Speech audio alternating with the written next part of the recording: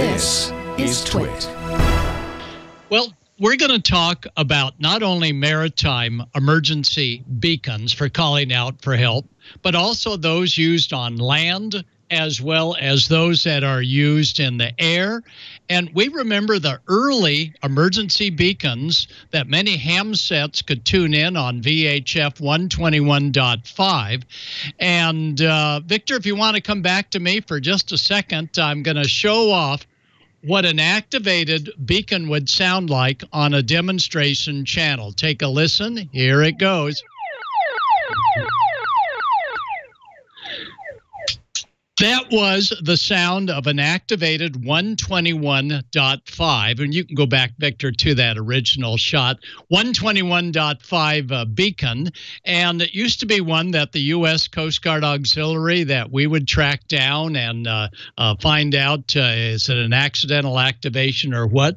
But we've come a long way from the old days of 121.5 signaling. But every one of the beacons I'm going to be talking about, except for one, still continues to transmit on 121.5. In fact, when I do our U.S. Coast Guard Auxiliary comms uh, demonstrations, a lot of even Coast Guard uh, personnel didn't realize that when they're tracking down emergency activated beacons, which are called EPIRBs, emergency position indicating radio beacons, the EPIRBs now work on 406 megahertz, and they didn't realize that they're still a 121.5 tone.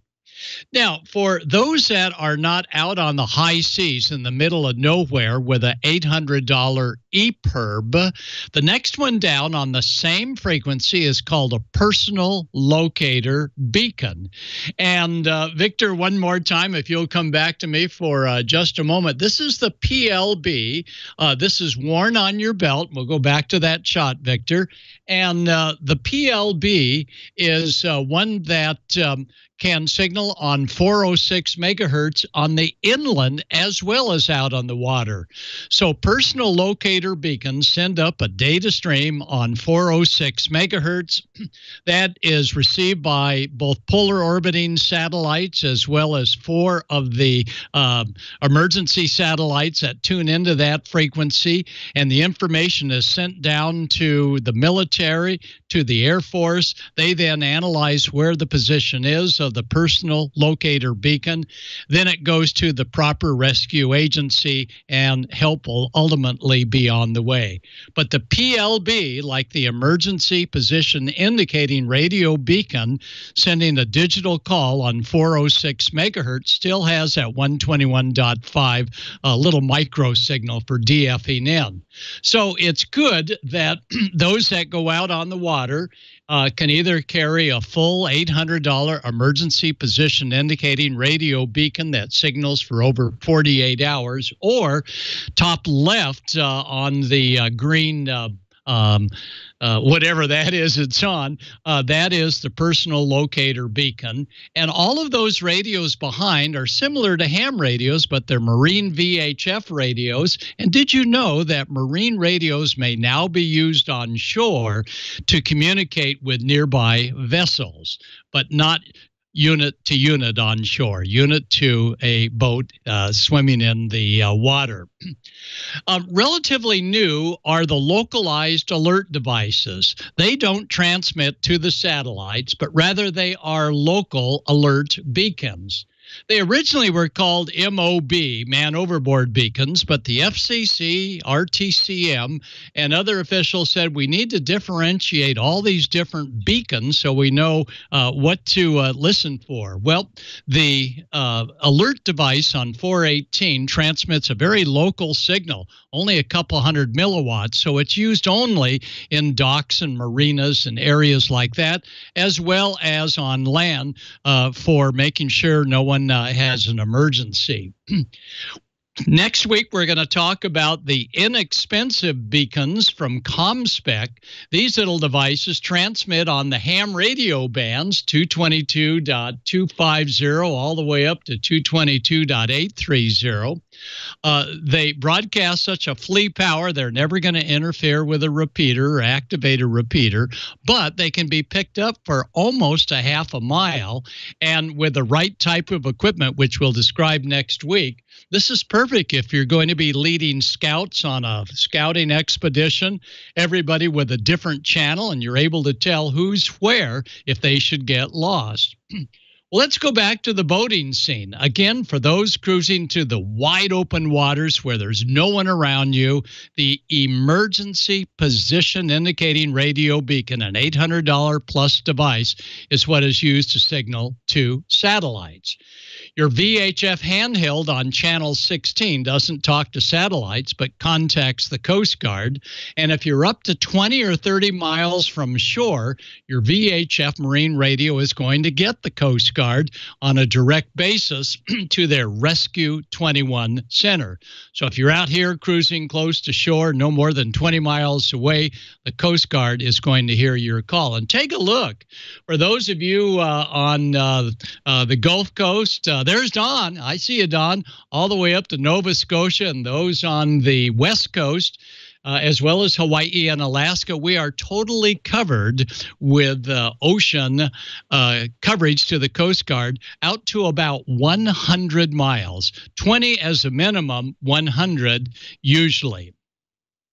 The Coast Guard has all sorts of direction finding capabilities aboard their aircraft units, and they're able to track down an activated EPIRB or an activated PLB because they're getting a report on alternate channels as to the exact location because those little portable beacons uh, can uh, send their position all the way through the satellites.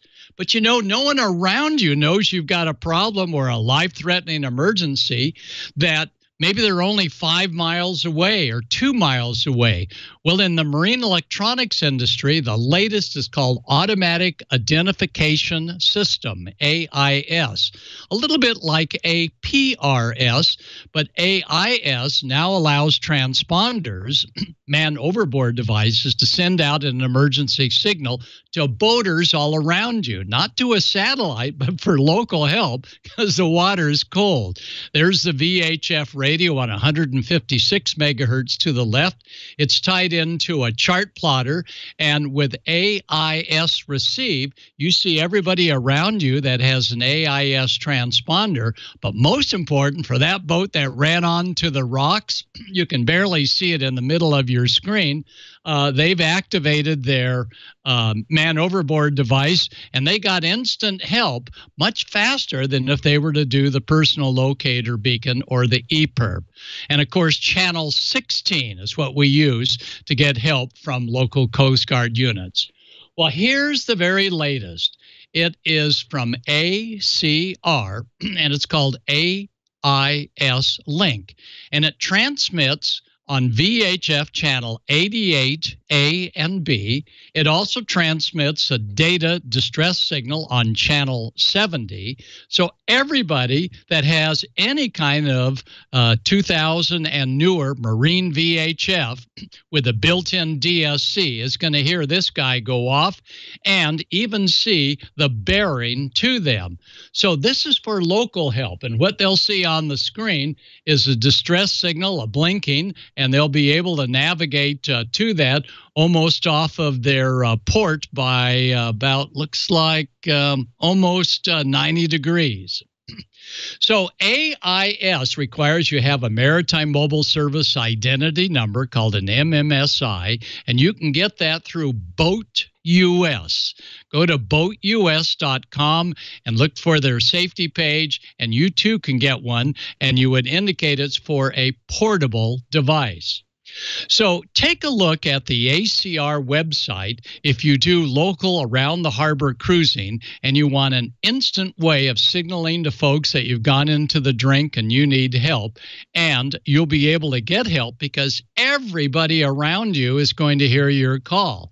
If you were to signal with a EPIRB, it would take probably uh, 15 to 20 minutes before they finally get to the correct rescue agency that's going to do a local call to everybody saying, come on over and pick you up. And that's 15 minutes lost. We gave some tests of that new uh, man overboard beacon, MOB, and uh, uh, we did it on a test frequency and it works great. So, your leading manufacturer of both land as well as lake, as well as oceans, as well as you name it, is ACR. And uh, they've been nice enough for the United States Coast Guard Auxiliary to allow us to use as a demo some of their ACR products. And these products, the most important one now is the man overboard device, the MOB. And that's a distinction because it transmits on marine VHF channels locally with no contact to uh, the satellites. And in a busy, populated cruising area, that's what you want. Next week, we'll talk all about leading the scouts on a long haul scout and losing one and being able to find them with a relatively inexpensive uh, beacon designed by a ham radio operator uh, that runs ComSpec uh, here in uh, Orange in California.